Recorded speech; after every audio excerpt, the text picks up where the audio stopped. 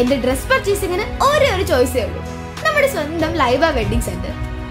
Laiba wedding centre Pookkottumpadam Wandoor Karuvarakundu.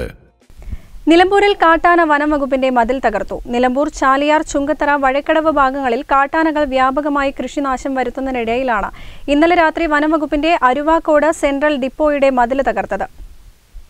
Mayiladi പാലം മുതൽ വടപുറം വരെ വനംവകുപ്പ് സോളാർ വൈദ്യുതി വേലി സ്ഥാപിച്ചിട്ടുണ്ടെങ്കിലും കാട്ടാനകൾ നാട്ടിലേക്ക് ഇറങ്ങുന്നത് തടയാൻ കഴിയുന്നില്ല.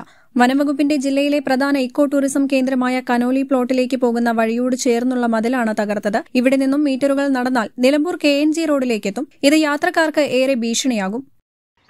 ഡിപ്പോ മതിൽ ഇന്നലെ രാത്രി ആന വന്നിട്ട് ഒരു ആറരക്ക് ശേഷം വന്നതാണ്. അപ്പൊ നിരന്തരമായിട്ട് ഇവിടെ ആനന്റെ ഒരു ശല്യമുള്ളതുകൊണ്ട് മനസ്സ് ഇത് എല്ലാം ചെയ്താണ്.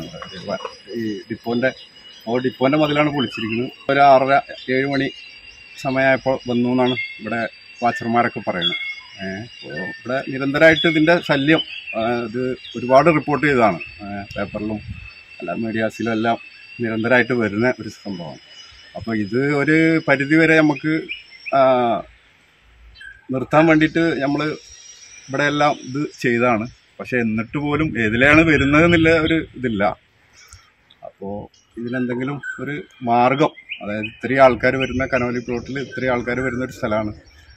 സന്ദർശകർ ഒരുപാട് വരുന്ന ഒരു സ്ഥലമാണ്. അപ്പോൾ അതിനൊരു എന്തെങ്കിലും ഒരു പരമാലകര ഭാഗത്തുനിന്ന് ഒരു തീരുമാനം ഉണ്ടാവണം.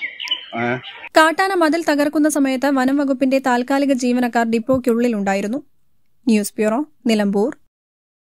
തലമുറകളെ അണിയിച്ചൊരുക്കിയ വിശ്വസ്ത പാരമ്പര്യവുമായി P A K Textorium Wandoor.